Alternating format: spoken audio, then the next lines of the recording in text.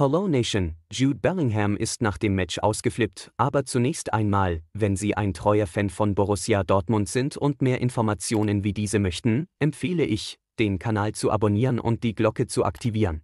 Da ich alle Neuigkeiten verfolge und Sie hier aus erster Hand auf dem Laufenden halt, zurück zum Thema, nach dem Aus gegen die Bayern, 2 zu 4, und dem Aus im DFB-Pokal gegen RB Leipzig, 0 zu 2.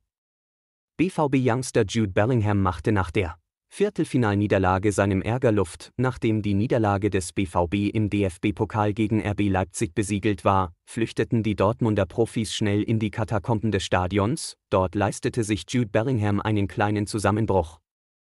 Laut Sport 1 fluchte der Engländer auf dem Weg in die Umkleidekabine, immer der gleiche Scheiß.